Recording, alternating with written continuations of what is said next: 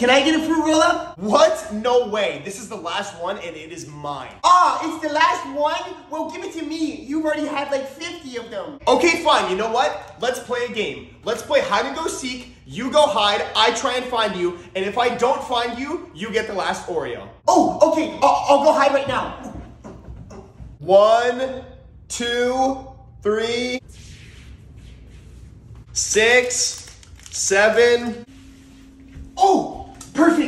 He'll never find me in here. 13, 14. Ready or not, here I come. what an idiot. I can't wait for my fruit roll up. Ah, it's been forever.